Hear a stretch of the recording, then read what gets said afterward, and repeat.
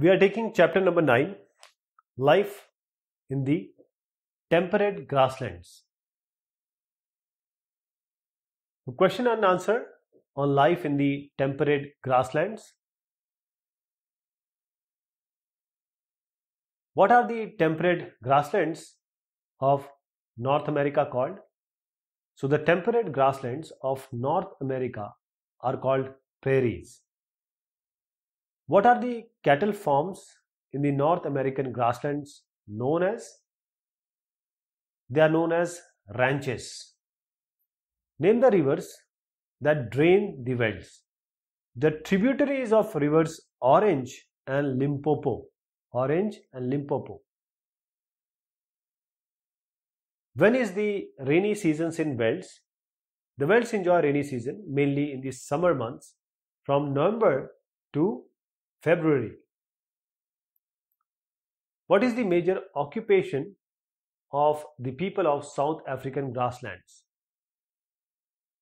The major occupation of people of South African grasslands is sheep rearing. Sheep rearing. We have to tick the correct answer.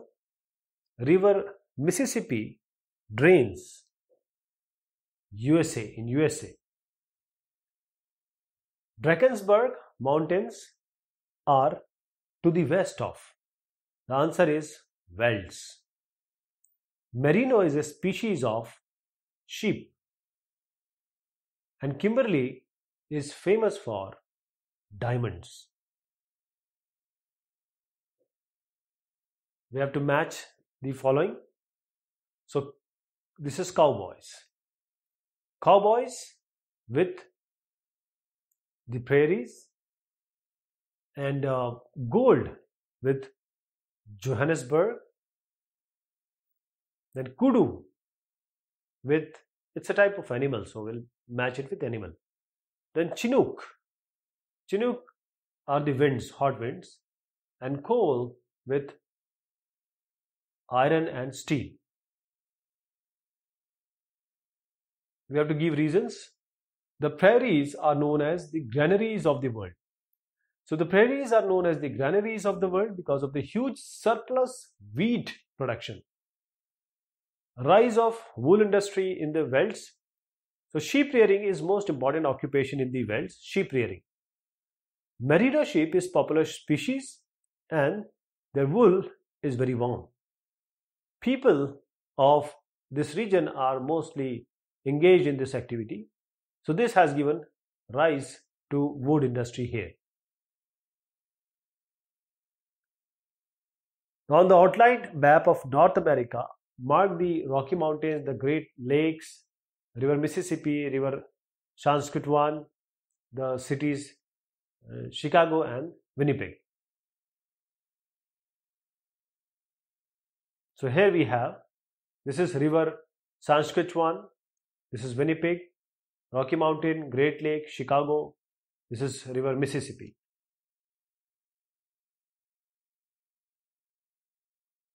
Enumerate the major features of the prairies. First of all, these are temperate grasslands of North America. It is a region flat, gently sloping or hilly land. Prairies are almost treeless for the most part, but uh, near the low-lying plains, flanking river valleys, woodlands can be found. The landscape is dominated by tall grass up to 2 meter high. It looks like a sea of grass.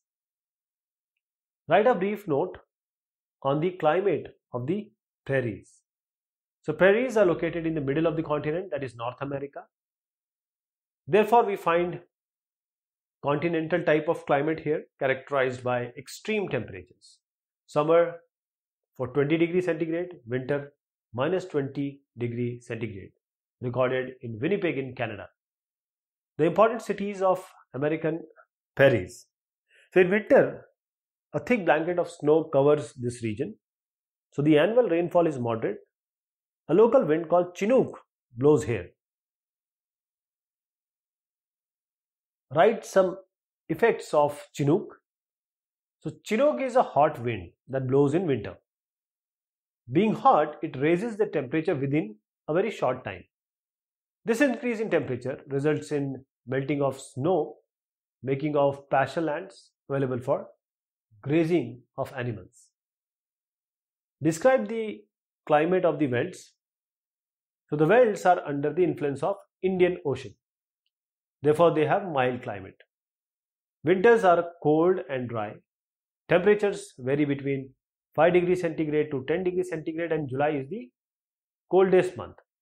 Summers are short and warm rainfall occurs in the summer month from November to February.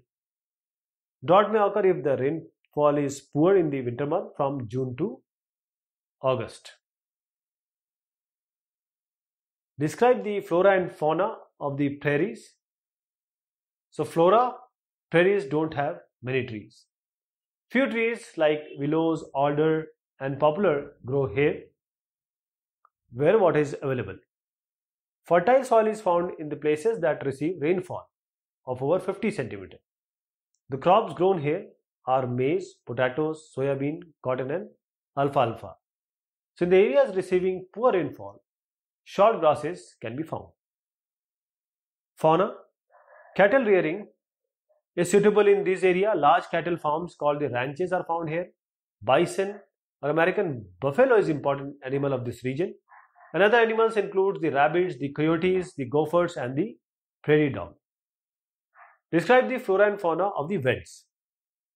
So flora, velds are not uh, rich in vegetation. Grass, grasses dominate the landscape. Red grass grows in bush velds. High velds are characterized by grasses like the acacia and marula. Fauna, the animal found in the velds are lions, leopards, cheetah and kudu. What are the major occupations of the people in the prairies? What factors contributed to the industrialization of this region?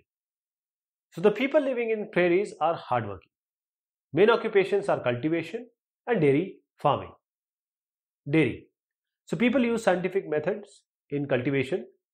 They use they use the tractors, harvesters and combines and produce surplus food. They are also known as these places, prairies are also known as granaries of world due to the huge surplus of wheat production. Another main occupation of the people of the prairies is dairy farming.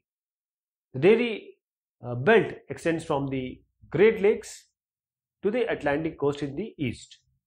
So dairy farming and extensive agriculture both promote setting up of food processing industries. So the factor that led to the industrialization of this region is first large mineral deposits like coal and iron and great network of roads, railways and canals. What various activities are performed by the people living in the velds? So cattle rearing and mining are the two major activities of the people living in the velds. But some people are engaged in agriculture, though it is not the main occupation of this region.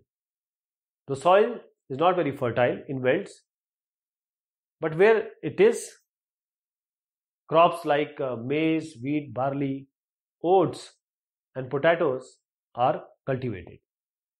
Cash crops like tobacco, sugar cane, and cotton are also grown.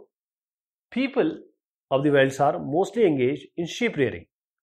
Sheep is bred mainly for wool and has given rise to the wool industry in the velds. Dairy farming is next important occupation here. Cattle are reared in warmer and wetter regions and the dairy products like butter, cheese, they are produced to, for both domestic as well as for export. As velds are very rich in mineral reserves, gold and diamond mining, they are also the chief occupation of the people of this region. Johannesburg is known for being the gold capital of the world. Kimberley is famous for its diamond mines. So these are the question and answer of this topic. Thank you so much. Take care of yourself.